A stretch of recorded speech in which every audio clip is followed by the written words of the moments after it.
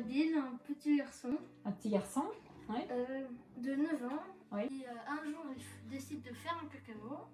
Oui. Et le lendemain, euh, au réveil, il voit son bol vide.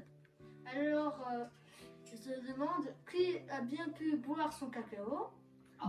Alors, il va chercher des, des réponses et ce qu'il va découvrir dépassera tout ce qu'il avait imaginer. et C'est bien ça. quand son cacao disparaît, c'est que c'est euh, un lutin.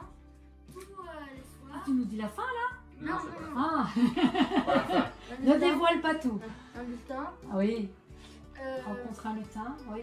qui euh, son cacao. Et du coup, il décide de l'emmener dans son monde. Ah Et euh, Et puis il se passe plein de choses. Oui. Et c'est ça qu'on doit découvrir évidemment dans le Comment cette histoire t'est venue, Rimsky ben, j'aurais dit comme ça. Moi, j'avais beaucoup d'imagination. Ouais. Et même moi, aujourd'hui, je me demande comment j'ai pu imaginer tout ça.